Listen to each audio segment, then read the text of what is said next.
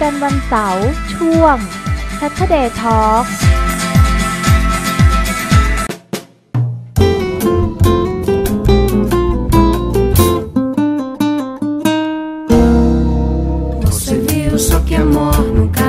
ช่วง Saturday Talk วันนี้นะคะพาคุณผู้ชมไปดูอะไรจิ๋วๆค่ะ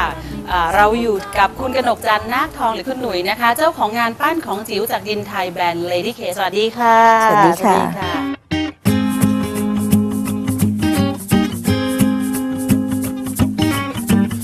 งาน in the ปั้นจากดินไทยค่ะ ใช่ไหมคะค่ะดินไทยที่ว่านี่คือดินอะไรคะคุณหนุ่ยดินที่ทำเองกันในประเทศไทยเนี่ยค่ะอ๋อ เขาเรียกว่าทำหลักตามหลักนี่ก็คือดินวิทยาศาสตร์ อ๋อ หรือดินสังเคราะห์อะค่ะดินสังเคราะห์ค่ะแต่ไม่ใช่ดินที่เราเห็นทั่วไป ไม่ใช่ค่ะไม่ใช่ดินทำขึ้นมาใหม่อะแต่ว่ามีส่วนผสมของดินขาว อ๋อค่ะเอาไว้สำหรับงานปั้นโดยเฉพาะ งานปั้นที่ที่เอ่อเป็นงานที่ต้องเก็บไว้นานนะคะ อืมแล้วงานค่ะที่มีฝีมือราคาแพงอะค่ะอ๋อแล้วงานปรณีต ไปไงมาไงคะที่คุณหนุ่ยมาเริ่ม การปั้นดินจิ๋วอย่างเงี้ยค่ะของจิ๋วๆแบบเนี้ยค่ะ คือเริ่มแรกอะค่ะ ค่ะเราก็ต้องมีครูอะค่ะ ค่ะเราก็ชอบ เพราะว่าเราไม่ได้ทำงานเอ่อข้างนอกแล้วอะค่ะค่ะเรากลับมาเป็นแม่บ้านเลี้ยงลูกอืมอันนี้ก็ต้องย้อนไปหลายปีเลยอะค่ะ ค่ะ12 ปีอะค่ะ ค่ะ ที่ทำงานตรงเนี้ยมาค่ะอืมทำงานตรงนี้มาแล้วเราก็ต่อยอดจากงานที่เราเรียนจากอาจารย์ ค่ะ ค่ะทำให้เราเนี่ย ได้ประสบการณ์ แต่เราไม่หยุดทำงาน ค่ะ เราก็ทำแล้วออกแบบแล้วก็ดีไซน์ทำอยู่กับบ้านเนี่ยค่ะ ค่ะ ตอนนั้นปั้นต้องบอกว่าเหมือนไหม ไม่ค่อยเหมือนนะคะ ค่ะแต่ว่าเขามองปุ๊บว่าว่าเหมือนคนอื่นมองนะคะอ๋อแต่เราเองเรารู้สึกว่ารู้สึกว่ามันไม่เหมือนไม่เหมือนอืมเราก็พยายามหาแล้วก็สังเกตค่ะอ่าแล้วก็มีความอดทนเนี่ยค่ะ ภาคเพียรเลยแหละอืมเอาเอาเอาของที่มันเป็นของจริงใหญ่ๆเนี่ยค่ะนะไปซื้อจากห้างเนี่ยอย่างเอ่อกระหล่ำปีเขียวอ๋อพริกหวานเนี่ยพริกหยวกอะปั้นยากหลายไหมคะๆสี เราถ้าเราไม่เคยได้เรียนเลยอะมันปั้นยาก แต่คุณหนุ่ยมีพื้นฐาน พื้นฐานก็คือมีพื้นฐานที่เราเรียนในในในสถาบันอ๋อนะคะนั่นคือพื้นฐานสีค่ะพื้นฐานรู้เรื่องพื้นฐานค่ะ ดินเราแรกคือปั้นจากผัก ใช่เราเราปั้นพัฒผลไม้ปั้นมาผลไม้เรื่อยๆอ่ามาเอ่อ มาเป็นอาหารค่ะมาเป็นสิ่งที่เป็นวิถีไทย แรกๆที่เขาเห็นเราต่างชาติเขารู้สึกยังไงเขาชอบเขารู้ไหมสึกทึ่งค่ะอืมทั้งทั้งๆที่เราบอกว่าเราเรายังว่าไม่สุดฝีมือเรานะค่ะ ยังไม่ถูกใจเรายังหรอกยังยังหรอกค่ะมเราก็ดูดูรายละเอียดแล้วเราก็ทำค่ะแล้วก็สัดส่วนเนี่ยเขาจะสเกลมาให้เรามคือ1ต่อ12 อย่างกระจาดใหญ่กระด้งใหญ่ก็เป็นกระด้งเล็กเล็กก็ทำอย่างเงี้ยค่ะอ่าทำให้คนมีรายได้อ่าแสดงว่าทำเป็น ผักผลไม้ละเริ่มมาเป็นอาหารเมนู เริ่มมาเป็นอาหารเป็นค่ะตู้เป็นชุดอ๋อ เป็นเซตที่เห็นเนี่ยค่ะ ค่ะ แต่ดิฉันแปลกใจมากอย่างอันเนี้ยค่ะ คือมันมันเล็กมากแล้วมันก็มีเหมือนมันมันมีชีวิตชีวาค่ะนะคะอันนี้คือชุดอายอยากกทาทานนอันนี้คือชุดน้ำน้ำพริกกะปิใช่ปลาทู ใช่ค่ะ คือรายละเอียดของงานจิ๋วเนี่ย มันจะยากกว่าชิ้นใหญ่ ๆ เพราะมันต้อง ประณีตใช่ไหมมันต้องคะย่อลงมา อืม แล้วแล้วย่อลงมาเนี่ยแล้วแล้วในเนี้ยมันจะมีหลากหลายค่ะ มีหลายแบบ เราจะทำให้ได้มาตรฐานคือเรียงกันเนี่ยสัดส่วนเนี่ยเลขใหญ่เท่ากันไหมค่ะมันมันไม่เท่า อ๋อ ดังนั้นเราต้องเข้าใจสิ่งที่เราเห็นจากสิ่งใหญ่ แล้วเราต้องเอ่อทำสเกลให้ถูก งั้นแสดงว่า เช่นสมมุติว่าตัวชะอมทอดก็ต้องค่ะ ไม่ใหญ่กว่าปลาทู ต้องไม่ใหญ่ คือเป็นสเกลค่ะจริงที่ย่อลงมา ที่คนไทยเราเนี่ย ได้แบบทำอาหาร อ๋อเราเอาตามนั้นตามหนังสือ ค่ะหรือตามของจริงที่เราได้ค่ะ ได้ทานกันอยู่ทุกวันเนี่ย อืม เราก็มาสรุปไงว่าจะมาจัดอยู่ลงไปในเนี้ยมันเราต้องสรุปด้วยตัวเราเองอืมแล้วดีไซน์อืม แล้วออกแบบออกมา ว่าเราจะเอาวางไว้ตรงไหนให้มันสวยงามอ๋อมันไม่ได้แบบคิดจะปั้นก็ปั้นได้เลยนะม่มันต้ต้อองงออกวางแบบแผนต้องวางแผนอ่า ค่ะนะคะอะพอเริ่มมาเป็นอาหารละตัวนี้ตัวโอ้แต่อันนี้ค่ะคุณผู้ชมค่ะอาหารเมนูโปรดประจำประเทศเมนูโปรดดิฉันค่ะ คือมันเล็กมาก อันนี้เป็น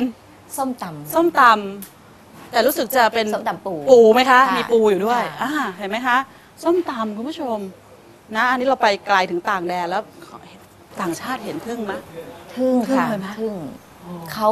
งานตรงเนี้ยค่ะ จะเรียกว่างานที่เราเริ่มต้นจากผักผค่ะ ลไม้เนี่ยก็ยังเป็นอันดับหนึ่ง ค่ะ ตอนนี้ก็ยังมีที่สเปนสั่งมา อืม ค่ะ ยังมีออเดอร์ให้เราขนาดว่าเศรษฐกิจของเขาแย่อืมแต่เขาอะคือคนที่สั่งเนี่ยก็คือเขามีกำลังค่ะไม่ใช่คนระดับล่างอืมเป็นคนที่ทำบริษัทเขาเอาใหไปญ่ทำอะไร เขาเอาไปประกอบกับงานขายอ๋อของเขาอาจจะค่ะทำเป็นของจิ๋วแต่เป็นเรซินดินไทยที่บอกเนี่ยดินสังเคราะห์เนี่ยมันค่ะแพงไหมคะ ไม่แพงอะค่ะ คนเรามาทำให้ราคาแพงเองอ๋อ นี่ทุกวันนี้ก็ยังยังทำงานตัวเดิมๆที่ตัวเองทำอยู่ ใช่กลุ่มของเราเอง อืมเราไม่ได้ไปซื้อจากใครอะค่ะ กลุ่มที่เริ่มทำจากดอกไม้ อืม เริ่มเริ่มทำเอ่องานขนมขนมค่ะไทยเล็กๆเนี้ยค่ะ ค่ะ เราก็เอามาทำงานผัก ปัจจุบันเนี้ยเราสามารถที่จะแบ่งประเภทดินได้ ก็คือดินเนี่ยที่ทำผักกับดินที่ทำขนมอืมทำของที่จะใสๆผิวใสๆไม่เหมือนกัน ไม่เหมือนกันอ่าแล้วสีที่เห็นล่ะคะ เราใช้สีอย่างดีสีน้ำมันนะอ่าคะค่ะเอาผสมเข้าไป ผสมเข้าไปแล้วจะอยู่นานเลยค่ะ ค่ะ แล้วไม่ลอก แต่สังเกตดูว่าลักษณะของ t e x t อร์ของดินเนี่ยหรือการทำออกมาเป็นรูปลายๆต่างๆ เนี่ยความใสก็ต้องมีคือความเหมือน เราจะรู้เลยว่าอ่า ผิวของจริงๆเนี่ยธรรมชาติเนี่ยเราต้องเรียนแบบให้ได้ ค่ะ ถ้าเราเรียนแบบแบบไม่ได้มันมันก็จะไม่ได้ไม่ได้ใจคนละ อ่าเห็นไหมคะความน่าทาน อย่างเงี้ยค่ะ t e x t อร์มันจะต้อง คล้ายจริง ใช่ค่ะ ว่างั้น สัดส่วนมันต้องย่อลงไปให้ให้ใกล้เคียงกัน ค่ะ แล้วก็มองแล้วมันคืออันเดียวกันหมด อืมนะคะดูตลาดซึ่งเราก็เอามานอกจากที่เป็นของโชว์ของอะไรเอามาต่อยอดเป็นเรื่องของวัสดุใช้ก็ได้ด้วยใช่อันอเนี้ย่างยเช่นค่ะ อย่างเช่นไม้กรอบค่ะรูปเศษอ๋อวัสดุไม้สักค่ะ ค่ะ ซึ่งเขาทิ้งแล้ว อืม ค่ะ แม้แต่สิ่งที่ออกแบบดีไซน์ค่ะในในยุคปัจจุบัน เราก็มาใช้ดินนะคะตัวนี้มาค่ะทำดินค่ะ แล้วก็เปิดได้ อืมแล้วปกติเราจะ ใส่อาหารเนี่ยค่ะเป็นส้มตำใส่เข้าไป อยู่ในนั้นแล้วก็เขาจะสั่งงานเรามาจะติดโลโก้อืมของสถานที่นั้น อืม เราก็ออกแบบให้ได้อืมค่ะ คุณหนุ่ยเปิดสอนไหมคะเนี่ย เราเปิดสอนอยู่อืมดั้งเดิมเลยก็ผักกับผลไม้เนี่ยอ๋อ เราจะไม่สอนอย่างอื่น ค่ะ เพราะอันเนี้ยเราเราสามารถที่จะรู้ได้ว่ามันเป็นองค์ความรู้อืมสอนเด็กในสถาบันตอนเนี้ยค่ะยังเป็นครูสอนอยู่เป็นะครูสอนอยู่ สอนเป็นวิชาพิเศเรียษนเป็นคอร์สยังไงคะ เออถ้าเป็นถ้าเป็นคนภายนอกนะคะ ก็ จะจะเรียนผักกับผลไม้ ค่ะ ผักเดี่ยวๆไปเลยก็ได้สองสองวันสองวัน ก็คิดสามพันห้าเองค่ะ อุ้ยสองวันก็พอไปพอเป็นแล้วเหรอเป็นแล้วค่ะ วันเดียวก็เป็นแล้วค่ะ แต่ถ้าคนมันไม่มีพรสวรรค์หรือไม่มี ฝีมือด้านปั้นเลยเนี่ย อย่างที่ฉันที่มันมันจะทำขึ้นมาให้มันเป็นแบบนี้ยากเหมือนกันนะ มันแล้วแต่นะ คือเรามีความรู้สึกว่าสิ่งที่เราเคยทำเนี่ยมันยาก อืมแต่พอเราถ่ายทอดให้กับคนแค่2วันเนี่ย ค่ะมันไม่ยากสำหรับเขาหรอกค่ะ อ่า ก็เพราะว่าประสบการณ์ตัวเนี้ยเราเก็บเราเก็บเกี่ยวแล้วเรามองแล้วว่า อันเนี้ยมันมันสามารถที่จะทำออกมา แล้วให้คนเรียนแบบได้ง่าย ที่เหลือก็ต้องไปฝึกเอา ไปฝึกเอาพอเป็นความชำนาญค่ะ โอกาสของตลาดของจิ๋วพวกเนี้ยมันมีตลาดนอกจากต่างชาติไหมมันก็ตลาดใหญ่เหมือนกันนะ มันตอนเนี้ยเป็นมันไงเป็นบ้างคะ ทั้งทั้งโลกแล้วอะค่ะ อืม ก็คือสิ่งที่เราเกิดของจิ๋วในประเทศไทยเนี่ยก็ค่ะเกิดจากต่างประเทศเข้ามา อ่า แล้วเราก็ทำแล้วเราก็ออกไปหาเขาอืม เสร็จแล้วต อนนี้ประเทศเราเนี่ยบูมเรื่องเนี้ยค่ะ จนเดี๋ยวนี้ก็เรื่องบูมอีกแล้วมของอย่างนี้จะมีอยู่ตลอดเอาละค่ะแหมอันนี้ก็น่ารักอะเป็นแบบว่าของไทยๆเลย ค่ะเอ๊ะแล้วมันได้ความนิ่มด้วยนะ ใช่ไหมคะ คุณสมบัติของเอเขาอนี่แหละค่ะที่ความพิเศษนะคะเออเราไม่คิด เหมือนกันทุกทุกดินของคนอื่นไม่เหอ๋มือเหรกัอฮะ ไม่เหมือนกัน อืมโอ้น่าสนใจมากทีเดียว มีอะไรอยากทำในใจ อยากปั้นอะไรอีกไหมคะอยากปั้นใน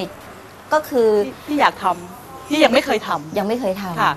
อยากปั้นนี่นี่ตัวเองไม่เคยเรียนตุ๊กตาชาววังเลยนะคะ ค่ะ อยากปั้นมคือเราเรามองเห็นแล้วว่าคนที่มามาทำแล้วอะแล้วก็หายไปอืม คือไม่ทำจริงจัง ค่ะ ทำเพื่อมาประกวดทำเพื่อขาย แล้วแล้วเวลาหมดเอ่อคิดว่าทำแล้วขายไม่ค่อยได้ก็จะหยุดทำอืมแต่เองก็จะทำขอไว้ก่อนนะรูปแบบเนี้ยให้ครบ ค่ะ มีตุ๊กตา มีท่าทางของคน อ่าถึงแม้ว่าจะไม่ได้สวยเหมือนระดับอาจารย์ด้านค่ะนี้แต่เราคิดว่า